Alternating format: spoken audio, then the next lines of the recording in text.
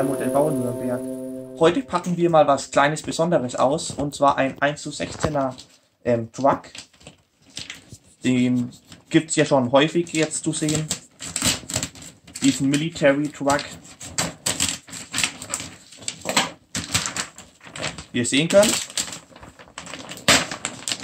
macht es schon echt was her. Bisschen Holzoptik, ist natürlich allerdings nur Karton. Wir haben zwei Farben bestellt. Also alle beide, die es gibt. Und ja, wie man sehen kann, beim Versand wohl ein bisschen beschädigt hier unten. Aber es sollte noch im Rahmen sein. Bestellt wurde bei Gearbest. Irgendwie über dieses deutsche Warenhaus oder wie auch immer, dass man eben kein Zoll zahlen muss. Finde ich sehr schön bei Gearbest. Kam also doch noch alles vor Weihnachten an. Gearbest hat uns nämlich schon so eine E-Mail geschickt, dass ähm, wo Lieferverzögerungen derzeit im Umlauf sind, weil ja natürlich Weihnachten ist und die Paketdienste alle voll überlastet sind. Hätte uns auch nicht gestört, aber wenn es jetzt halt schon da ist, umso besser. Die sind hier noch alle zusammengeklebt mit so einem durchsichtigen Tesafilmband, damit sie ja nicht miteinander gehen. Hier haben ist wohl dieser ähm, schwarze bzw. grüne drin. Und hier haben wir einmal diesen gelben bzw. weißen. Hier sind auch ein bisschen so die Daten, die kleine Fernsteuerung. Die Lenkung ist nicht proportional, das bedeutet, man kann entweder voll oder gar nicht einlenken, das habe ich schon gesehen. Und ja, wir werden den, die Trucks dann nach einer kurzen Zeit schon umrüsten. Da folgen dann natürlich auch weitere Videos. Hier kann man gut sehen, Military Truck, auch auf Chinesisch oder Japanisch daneben. Jo, machen wir mal auf die Kartons. Wie ihr sehen könnt, haben wir schon hier den einen ein bisschen geöffnet. Jetzt kann man hier einfach schön den Truck rausziehen. Oh, schaut wirklich nicht schlecht aus. Hier ist gleich ein Beilagezettel. Alles auf Japanisch oder Chinesisch. Hier ist die englische Beschreibung. Das ist schon besser. Jo. Schauen wir mal, was so alles da drin ist.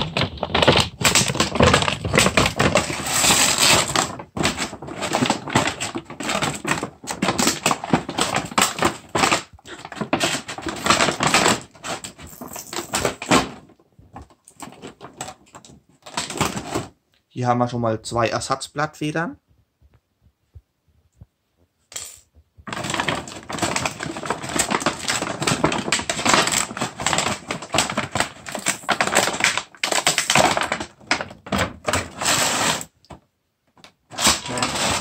Einmal den Truck.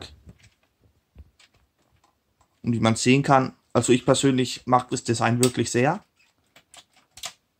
Die Blattfedern scheinen auch ziemlich gut zu funktionieren. Also für den Preis von ungefähr 35 Euro oder sowas, inklusive Versand. Ja, die Lenkung ist natürlich, naja, also da muss er auf jeden Fall Tuning reinbauen. Aber das Chassis selbst finde ich ziemlich schön gemacht. Ganz normale C-Kanäle. Hier das Leiterrahmen-Chassis.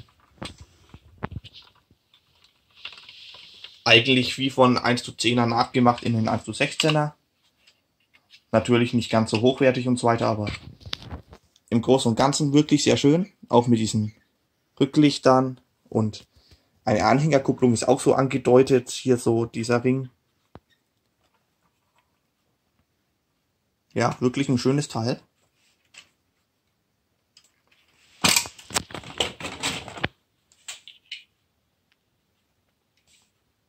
Dann ist noch ein USB-Ladekabel dabei. Natürlich hier noch die Fernsteuerung.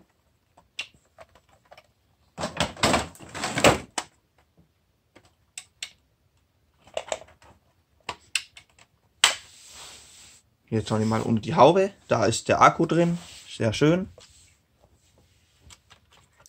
Den tun wir gleich mal raus. Das sind 5 AA-Akkus nebeneinander einfach. Ja, ganz normales Akku-Pack, sage ich mal. Aufladbar, wie gesagt, über diesen USB-Lader.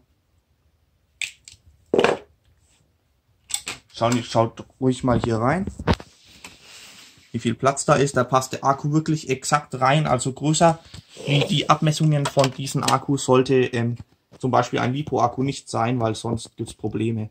In der Höhe ähm, geht es ein bisschen höher, aber nicht viel. Also ja. Ich messe den Akku natürlich für euch mal aus, den hier, und schreibe dann in die Beschreibung, wie groß der Akku ist. Dann könnt ihr natürlich auch Lipos zum Beispiel reinhauen, wenn ihr auch das Modell kaufen wollt. So, jetzt haben wir beide Trucks ausgepackt. Das Grau ist es, habe ich jetzt bemerkt. Naja, grau, ja. Ähm, schaut auch nicht schlecht aus. Die Reifen sind übrigens nicht ähm, verklebt ab Werk. Das finde ich schon mal gut. Kann man auch dann andere Felgen und Reifen drauf machen. Wobei ich sagen muss, die passen natürlich sehr gut zum Design von so einem Militärtruck. Jo. Ansonsten ist alles exakt baugleich natürlich wie bei den beigen. Jo, wirklich hübsch. Der hat ebenso wie der andere, hoffe ich, den Akku unter der Haube.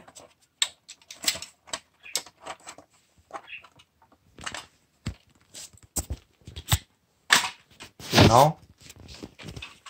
Hier seht ihr nochmal gut, da ist wirklich kein Platz mehr drinnen für größere Akkus. Nach vorne hin zur Motorhaube hat man vielleicht ein bisschen mehr Platz, wenn man hier mit einer Zange oder so ähm, dieses schwarze Teil rausbricht. Dann hat man nach vorne hin ein bisschen mehr Platz. Allerdings braucht man hier noch ein bisschen Platz, wie man sieht, für die Stecker. In der Höhe, wie gesagt, hat man ein paar Millimeter schon mehr Platz, zwei, drei. Aber höher dürfte der Akku dann nicht sein. Weil wir werden, wie gesagt, die Dinger umbauen und wahrscheinlich kommt dann auch ein Lipo-Akku rein und so weiter. Jo. Im Prinzip war es das vom Unboxing schon von unseren zwei Militärtrucks. Schaut wirklich super aus. Funken sind natürlich auch dabei. Sind natürlich ganz normale, beziehungsweise billige. Allerdings, oh. Die Lenkung ist schon sehr minderwertig, muss man sagen. Ist nicht mal richtig festgeschraubt. Obwohl es ja bloß eine Schraube ist. Aber okay, die kann man ja nachziehen. Ist ja kein Problem. Ansonsten ein aus geht die Funke. Trimmen kann man nicht. Die Trimmung erledigt man nämlich hier. Einfach ganz normal wie bei Dicky Auto, sage ich mal. Einfach an diesen Schalter dann dagegen trimmen und an aus ebenfalls hier unten. Jo. Bin echt mal gespannt, wie er so fährt ab Werk. Wir laden jetzt mal die Akkus auf, machen danach ein Fahrvideo und jo, dann sehen wir uns wieder. Ciao.